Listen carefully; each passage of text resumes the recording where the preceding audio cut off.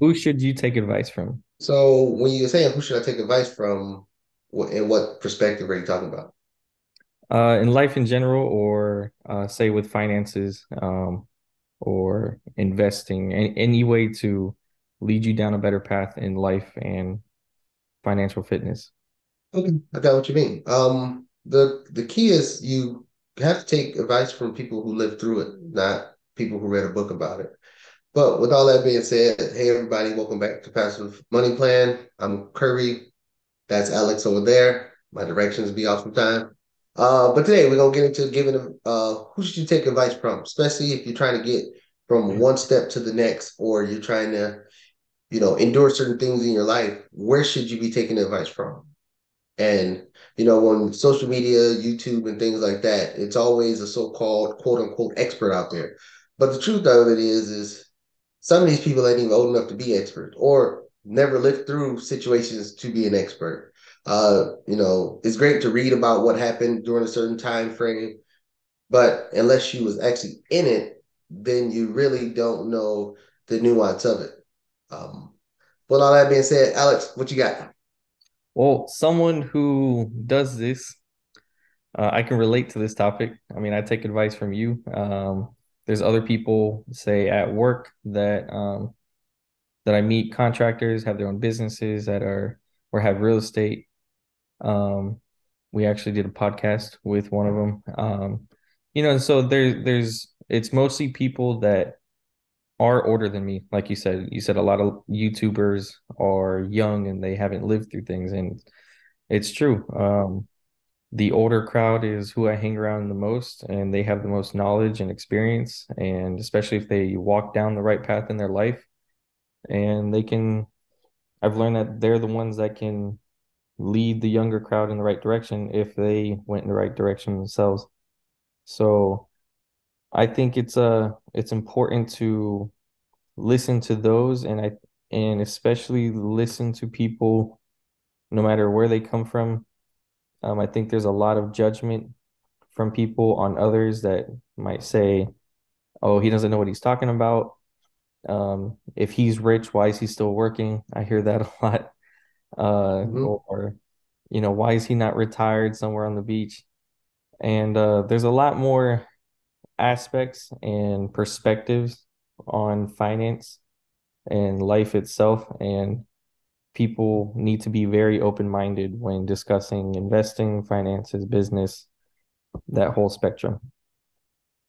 Mm-hmm. And I, I agree with you. Um, the you know the thing that chaps my butt, and I'm not calling out no particular names here, is when I see um, well, I'm old enough to call them kids, but when I see kids on social media, they all 23 years old talking about how to survive a recession, what they need to do in a recession. Um, first off, these people have never been through a recession. They might have, their parents might have. They was, you know, snotty nosed kid, you know, during the last, you know, big recession, you know, 08 and things like that. But they really never had any skin in the game or any risk involved besides if mom or dad didn't pay the mortgage, then they was out on the street. But they don't know the ebbs and flows. And uh, I look at, you know, I look at a lot of social media content, and it's some people that I follow, which are older, who's been through, you know, different cycles, going through different things. Uh, I mean, you know, me, I quote Warren Buffett a lot. And the reason why I quote Warren Buffett a lot is because he's lived through a lot, almost the last hundred years of, you know, the American, you know, economic cycle. So that's why I listen to him because he's been through this. When he say be greedy when others are fearful, is he's telling people this is how I made my money. Where you know everybody look at me on top of the Forbes list, and he's saying be greedy when others are fearful, is because that's exactly what he did through different economic cycles. You know, the 87, the 80 recession, the 70, the 79 recession, uh, the 2000 dot com recession, the financial crisis, you know, I mean, he's he go back way further than that, but he's been through different economic cycles, but he lived through it. He had skin in the game. He had boots on ground. Uh, it's other people, uh, and I'm not gonna shout out their channel here, but it's other people who've lived through uh, housing recessions, been through housing markets during a recession. You know, the 80s, the 90s, 2000s. You know, financial crisis. Who's actually did that? so those are the people I'm to listen to. You know, people that's been through it. I'm not going to just oh, because somebody has you know a hot channel or whatever, and they're just talking. I question information received. There's no way I can listen to somebody that's 20 years old telling me how to live through, let's say, this upcoming recession is like the financial crisis. How are you going to tell me what I should do when you haven't been through it? Then that's the thing I like about the channel. We always correlate, you know, with stuff that we've done. It's not a it's not a hey, you need to do this. Oh, we never did it, but this is what you should do. Or or I read the book a long time ago. This is what they did, so this is what you should do. No, I do not believe, and I always say I will never tell somebody to do something that I'm I haven't done or something that I'm not willing to do. I mean, like we talk about being, you know, being super cheap. Now you, you, like I said, you like one step above that mm-hmm. cheapest man in America, but you live it. You know, you're not you're not saying, oh, this is how to make coffee, this is how to make cheap coffee when but you're going out to Starbucks every day. You actually do it. Right. You know the cost, you know, and it was fun and it was great uh, on a short you you presented how to make cheap coffee, and then the guy, I don't know where he was from, but it was a commenter, and I was going back and forth with him.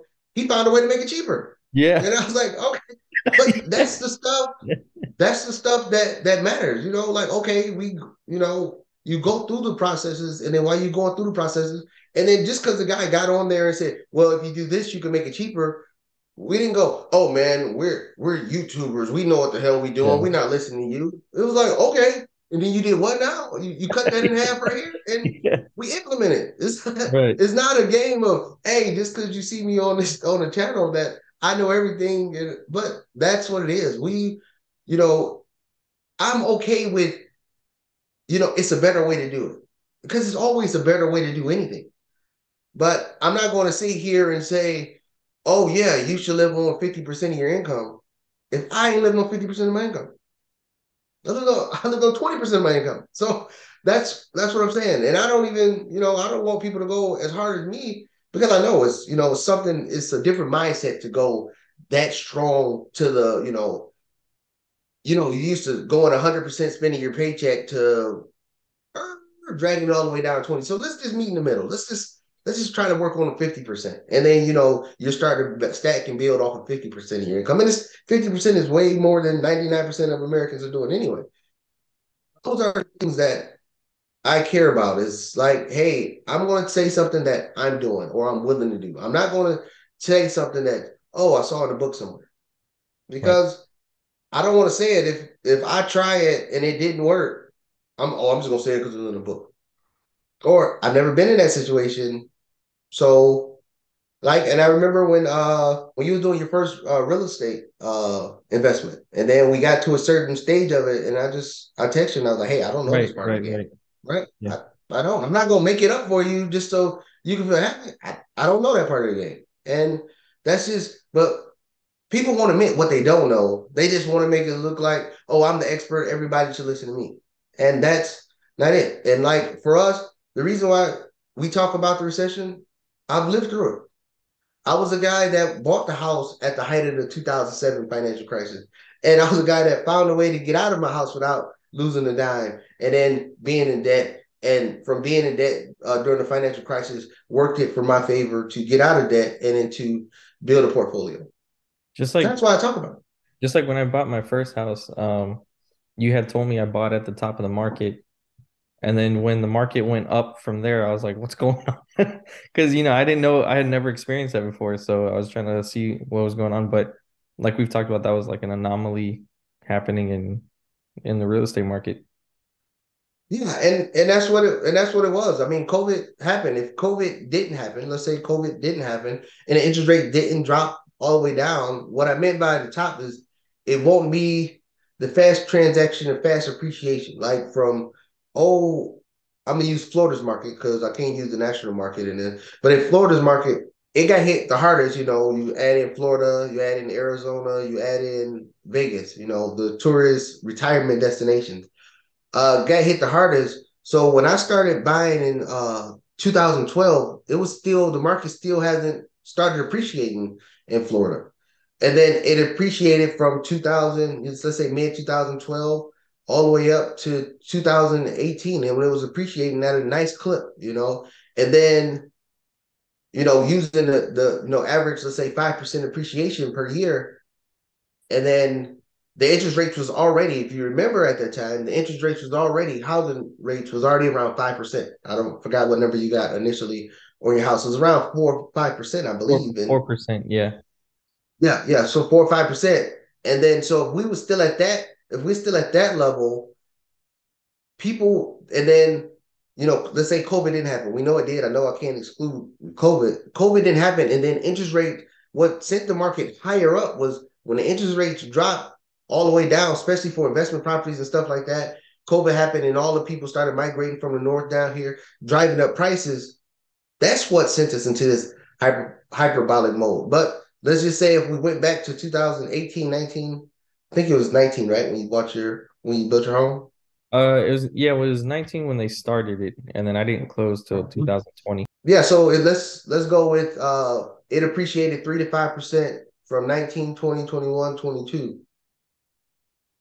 It still wouldn't have been as high as value as your house is now because right. of the big migration and stuff like that.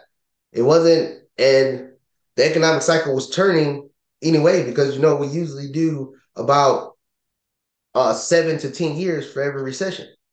Last last real recession, minus that little blip during COVID, was you know 2009. You know 2008 2009. So we was due for a you know a turn in the market in the real economy anyway. So the time was right. The situation changed and situation changed and it gave you appreciation, which is good for you. I mean, happy I was wrong because you know you got a, you know you got now it's a great deal. you know now it's a great deal with the appreciation that it, you know that it's gotten, but it happens. It happens. Yeah, if anything, too, I'm just glad that uh, the mortgage rate that we have is cheaper than mortgage rates today in Florida or rental prices people are paying. But yeah, and what you're saying sounds like uh not to give parental advice, but you what you always say to parents, like if you're not if you're not living it, your kids aren't going to do it. And I'm sure you've heard parents and I've heard parents say to their kids, you know, make sure you save your money or build credit or do this, but they're not doing it themselves. And kids are just going to imitate what their parents are actually doing, not what they're telling them to do. And that's what it is. It's it's hard. It's hard. It's hard to tell somebody to do something that you're not doing. And and this is what I mean. You might come great with a great opening speech, you know. Let's use the same scenario you just used with parents. Parents would be like, okay, save your money, right? Now, if they live in it, if they if they not living it and they just saying, hey, save your money, so the kid like, all right, I'm saving my money, what to do next? Oh, shit, I don't know. I ain't never saved money right? But if if you're actually doing it, if you're actually doing it, and then you tell the kid, "Hey, save money," and then okay, mom, dad, I you know I saved ten thousand dollars. Now what to do? Then now because you've been saving money, you can say, okay, now you start looking for you know looking for a good you know maybe index fund or something like that. Go index fund, uh, something that's pegged to the S and P 500, something that's pegged to the Nasdaq 100 uh, you wouldn't say go put it in CDs because that's the only thing that people that don't live it do. Oh yeah, put it in a CD, get one percent. Or they still think it's the 80s. they still think it's 80. Oh, you can get 10% return on a CD. When the truth is, is that like 1%.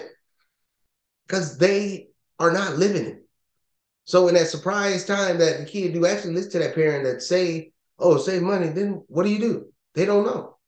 And then just like like I said, the younger generation of YouTubers who haven't lived through an economic cycle or haven't been investing in an economic cycle. I can't say lived through because if they was born, they lived through it, but they haven't been, had money in a game during an economic cycle, and then they be like, "All right, well now the stock market went down. What do I do? Go buy. Go buy what?